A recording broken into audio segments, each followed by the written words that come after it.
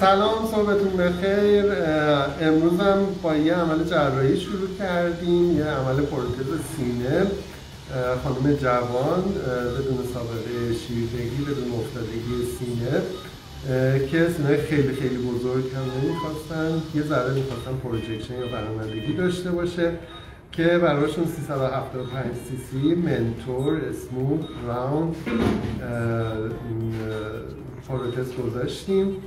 همونطور که می‌دونین شکل نهایی پروتز به خیلی چیزا بستگی داره. از جمله میزان افتادگی بافت سینه نوع بافت سینه شد هست هستش بافت پستانشون و یکی از اون عوامل پروتز سینه هستش.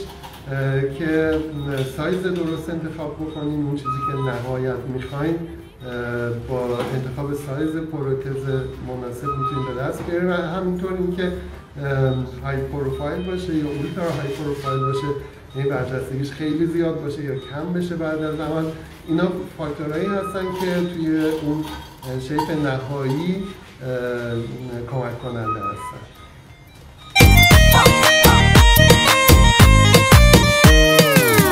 تو و عشقمون و دوربین عکاسی. شکلاتی میشه این جستای احساسی. خاصه هر ثانیه ای که ما با هم هستیم.